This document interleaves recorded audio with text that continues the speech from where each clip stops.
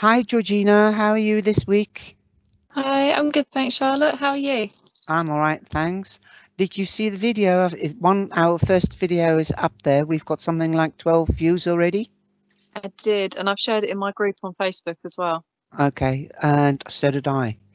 And in uh, Charlie's Angel Crowd, that's the page that I created to do the workshop from and other things and interact with uh, members when it's that time that I'm going to go live and talk about it. Uh, might do it this week, coming week if I'm not too busy because I've got romance readings to do and I'm doing next week's readings as well now and I'm using the transparent tarot with the everyday witches tarot so it's quite uh, challenging but it's really fun Yeah, it sounds it. And uh, we'll have to do that reading together uh, with the uh, everyday witch because you I know you've got the deck as well Yeah, are you going live this Saturday and Sunday I will be on Sunday. I've got an event that I'm doing. where Um, that one's on Facebook. okay So- is it Life so- soul or something else Um, this one is yes, it's Life and Soul, and Okay. then the following weekend I'm doing Life and Soul and Roots to Connection. Roots to connection. Okay. Well, um, I'm going to share that and I will highlight it that uh, you're going live. Thank you. I'm a bit too busy to go live and my computer is on its last legs because I, I, can't go live on Facebook with uh, the laptop. I can only use my phone for that Yeah, because Facebook is changing drastically. So is YouTube. YouTube is also adding new things in the back office and things. So we're busy learning about that too. Yeah. What uh, I was looking through the books um, in the last couple of days, in the last week, um, and I saw that there was also the reeds, uh, the Wiccan Rede, the Wiccan law um, in the workplace and spells, but it's far more detailed and longer than in the Healthy Witches uh, book that we um, talked about. And know. uh, uh, did you have you seen that? It's three pages long. I have. I've seen it briefly, um, but I've not read through it as yet. And well, I'm going to read a little uh, the first paragraph, and then I will read a couple of uh, uh, rules or laws, um, just to give people the idea of what is in the book. Okay, the Wiccan Rede on page 155. In spellcasting, it's very important to follow these guidelines, unless you want to set yourself up for a fall. The Wiccan Rede is something that was formulated to sum up the ethics of the Wiccan religion.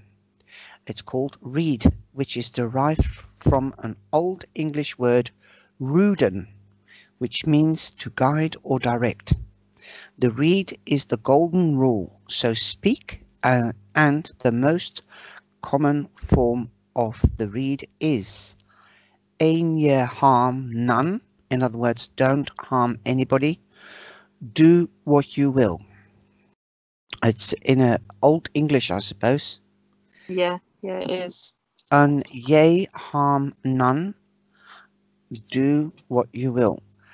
While most of us just keep those eight words in mind, it's a good idea to read the entire text to get a better understanding of the principles of Wicca. So you must also say it in rhyme. Bide within the law you must, in fact, oh sorry, in perfect love and perfect trust. Live you must and let to live. Fairly take and fairly give. For tr- tread the circle thrice, that's three times, about to keep unwelcome spirits out. To bind the spell will every time let the spell be said in rhyme. Light of eye and soft of touch. Speak you little, listen much. And I think that's really beautiful. In other words, listen. Yeah. Oh, and that's one of my I have to abide by. Honor the old ones in deed and name. Let love and light be our guides again. So if you want to know any more of these rules, viewers, then get the book so that you can do your own little ritual. Okay, lovely. And I also saw um, the pages on the spirit guides and I'll read a little bit from that. Many of us in pagan community acknowledge the presence of spirit guides, sometimes also referred to as guardian angels. We are all born with spirit guide who has an interest in our development and lives lives lives from birth to death. They want us to do well and will offer their help if we ask for it. If we don't properly ask, they will still attempt to help anyway, offering suggestions by way of sending us thoughts or ideas, but without our permission, they can do no more. So that is um, why doing a manifestation or a spell or a ritual, whether you're pagan or Wiccan or whatever, doesn't matter just do it with a pure heart like we discussed last week. Okay, great stuff. And now let's go to the promised chapter, um, raising um, energy. That's what we finished last week with. Okay. So, uh, oh, sorry, that's the wrong one. I've got to go right to the front raising energy. I'll read a little bit from the book and then we can discuss about it because the viewers don't have the book. Raising energy is the process of gathering energy into yourself and containing it so you may use it in spells, charms, etc. or in meditation. This is one of the most important elements of casting and can be done in a variety of ways. Singing, chanting, dancing, drumming, and visualization are several methods commonly used. Here are some suggestion, suggestions for raising energy in preparation for your spell work. And especially if you do a spell before you go into traffic or uh, at work to protect yourself from negative energies from colleagues. And there's also a spell in the book about work as well um, and the computer. Stand at the altar and imagine a white light flowing into your body through the top of your head. Also feel it coming up through your feet. And then feel the energy coming together and forming a ball of light in your chest. Focus completely on building up every bit of energy you have when you feel as though you have raised all your energy, relax and proceed with the spell. But this can, instead of doing the spell, you can also start going deeper in your meditation. Don't you agree? Yes, I do. You are going to do a meditation for us today, aren't you? Yeah, I can do a meditation for you. That's what we discussed last week as well. um, Sorry, my memory's not that great. no, nine is neither is mine. After the spell is completed, it is necessary to send out the energy that was raised. This energy is released into the world to create change you desire. To do this, stand at the altar and imagine the ball of light in your chest once more. Tense your muscles and begin to push the energy upwards. Then thrust your arms in the air and exhale, imagining sending the energy out into the air. Well, I can't raise my arms properly because of my neck. So I go like that, I blow it out. So, and last week, um, uh, Marla said you don't need to have a wand or an altar.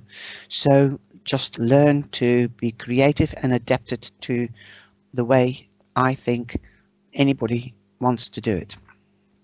Yeah. Some people prefer to chant or use mantras to raise energy. The chant is usually repeated over and over again, quietly at first, then louder and faster as you go until the energy reaches the appropriate level to empower the workings. And then it goes on to drumming. Some people like to drum rhythm, uh, rhythmically. Rhythmic, that's a mouthful. That's a gobstopper. Um, rhythm, rhythmically beat a drum for a few minutes. As with chanting, the drum starts slowly and then gets louder and faster.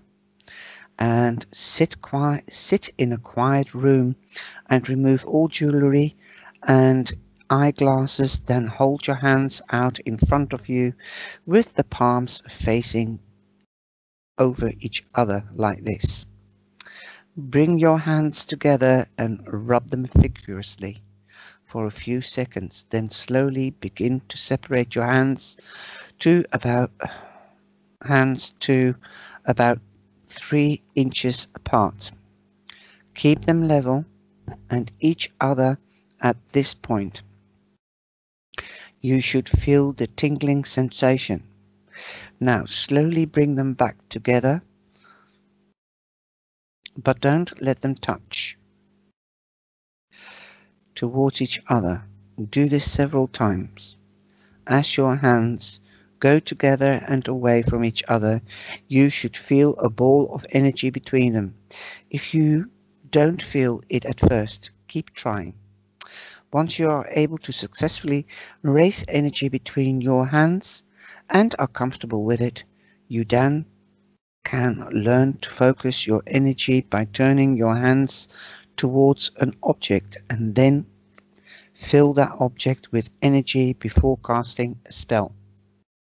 And that is how you raise energy. So you can, what I would advise to people is feel whether you can feel energy before you do that ritual. Just feel the difference. You can already feel it. Try it. Yeah, because it's your aura that Yeah, you're playing with your, there. your your energy, Yeah. and it's like it feels like a magnet. Can you feel it shifting? Yeah. That is raising energy. So let's do that by following your instructions on how to do meditation. Yeah, you want to do the meditation next? Yeah, I heard you on your on your YouTube channel. Nice piece. Oh, okay, you watched that. yeah, I keep my eye on you. The eyes are everywhere. yeah. Can you Okay, do a very um, sh- can you do a short version of that? Can't remember which one it is that's on there. No, it doesn't matter. Just do a short um, a- introduction to how you start meditating, and then meditate for five minutes, uh, because otherwise the video will be really long and it's really difficult to load up. Yeah. So, and this is just all a discussion and discussing the books and things. So it's just giving people an idea uh, what meditation is all about and how to get into it. So if they want to follow you, they can go to your YouTube channel and Facebook and they can watch you there. That sounds good. Okay, well, to start with, It's all free. I know it's all free. yeah, make make sure that you're in comfortable clothing, nothing too tight or anything like that. Um, that you're sitting, you can either sit comfortably upright or you can lay down on the bed if you wanted to, um, whichever's easiest. And just slowly relax yourself, bring your attention to your breath. So you notice the, the cool sensation of it on your nostrils as it goes in.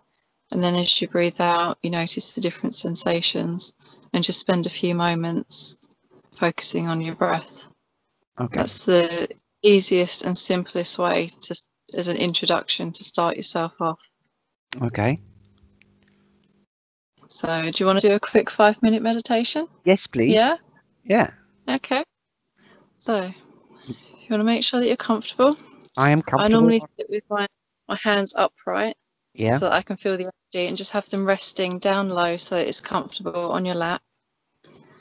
And then slowly take a deep breath in. And as you let go, breathe out and let go of any tension that you're holding. If you want to, you can close your eyes and concentrate on your breathing. Take another slow, deep breath in. And then slowly breathe out, letting go of any stress and worries. As you slowly take another deep breath in, breathing in the life force energy, feeling your stomach relax. And then again, slowly breathing out, letting go of any tension still in your body.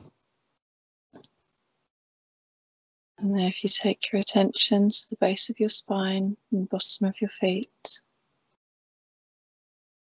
there are roots of energy slowly coming down through the floor, down through the foundations of the building, through the layers of the earth, going straight down to the middle of the earth, where there is a green, luscious bed of grass there, and your roots firmly but gently attached to the center of the earth. As you continue to breathe slowly in and out, there is a beautiful green energy coming up from the center of the earth, coming up your roots through the many layers, through, through the floor and the foundations of the building, up into your feet and the bottom of your spine. Slowly filling you up from your legs, hips, flowing over and through your torso up through your chest, going over your shoulders, down your arms and hands, up through your, over your neck, face and head until it comes up through your crown chakra the top of your head, overflowing and cascading back down your body. allowing you to feel fully connected with Mother Earth and all of nature, deeply grounding and rooting you in this moment.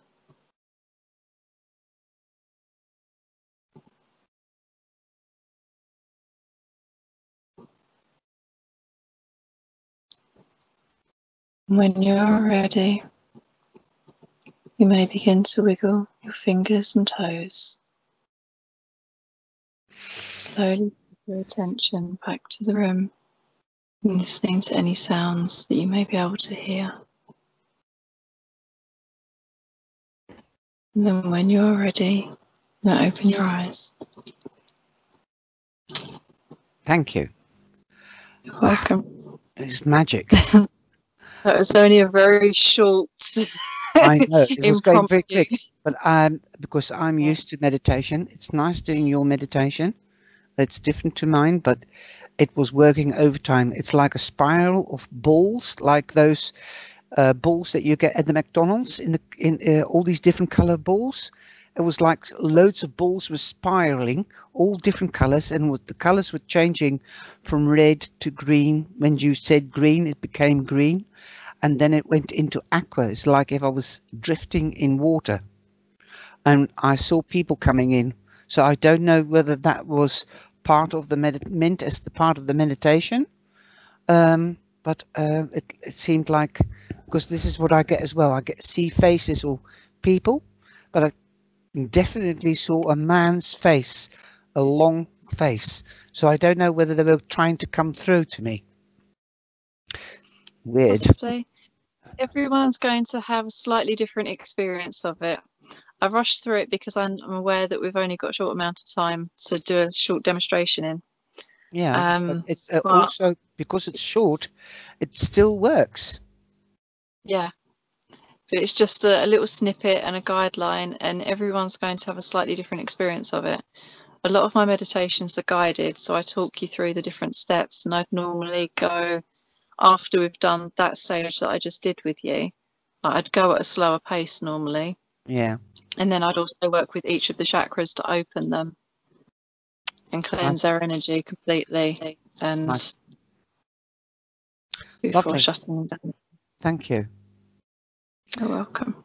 Okay. Well, this is 20 minutes, so I'm going to leave it there. And because it's also very gentle energy, it's it might just have rejuvenated everybody for the coming days or the day or the week whenever anybody is watching. Thank you, and I'll see you next week again. You're welcome. Namaste. See you soon. See you soon. Bye bye. Bye.